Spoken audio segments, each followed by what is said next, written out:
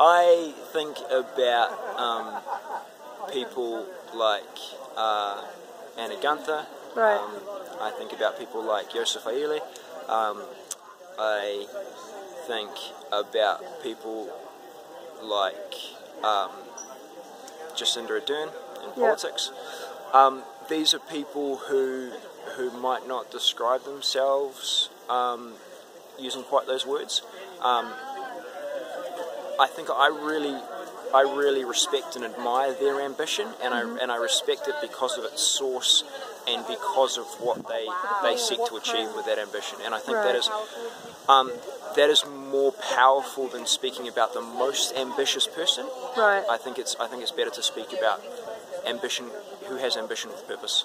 I think my uh, my approach to ambition, my concept of it, has changed significantly Right. um, over a period of several years. Uh-huh. Um, initially, I saw ambition as something to be um, not embarrassed about, but it was something you didn't really share. It was something you kept inside of you and, and something that you didn't um, bring out to the world, or if you did so, it was quietly to close friends. right. Um, I think that came from the Kiwi uh, attitude towards not wanting to.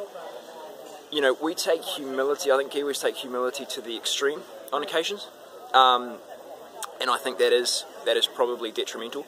There is something that is really nice and appealing about. Um, you know the fact that successful Kiwis are very humble, and that's nice.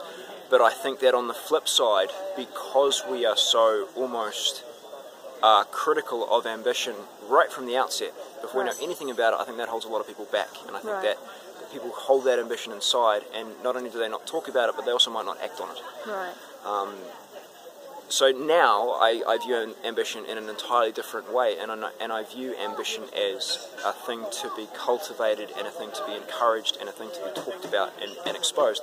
And of course, you know, it depends what your ambition is. If your Right. ambition is to make eight billion dollars and uh, and run the world, you know, maybe we should have a conversation about that ambition.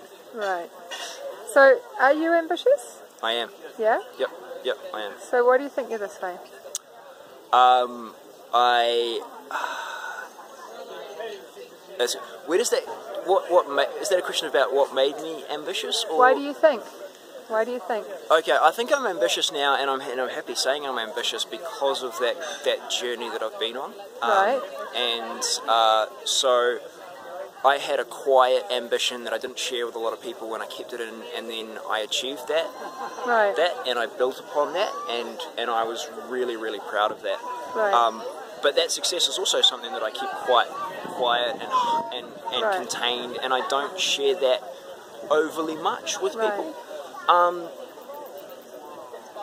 and through that journey, I've, I've come to see that ambition is good and it should be acknowledged and talked about, and so therefore, I think that makes me ambitious. I am ambitious that- because that- I believe it's good. That journey has made it into a good word for you. Yeah. Cool. We need to have a conversation in New Zealand about how we view ambition. We need to stop cutting people down so much because they are ambitious. Yeah. Um, we need to foster ambition in our kids and in our young people, and I think that the first step to start is by is by discussing and acknowledging um, basically how we are at the moment.